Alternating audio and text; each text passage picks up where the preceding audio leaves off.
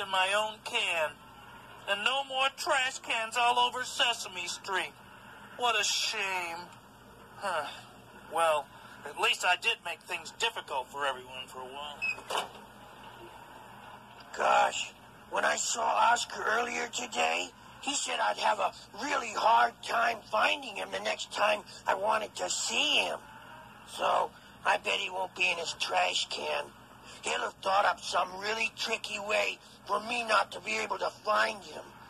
Gosh. Oscar! Oscar! You. What? Oscar, I thought you said it was going to be hard to find you. This was really easy. hey, Oscar, did you make it easy for me? Cause, cause I'm your friend? No, you're not my friend. Huh. I'm not your friend? I mean, he's just kidding, you know. I'm not kidding. No, no, you come on, it's a joke, huh?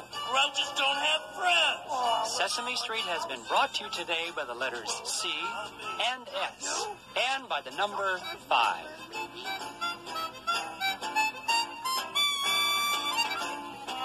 Sesame Street is a production of the Children's Television Workshop.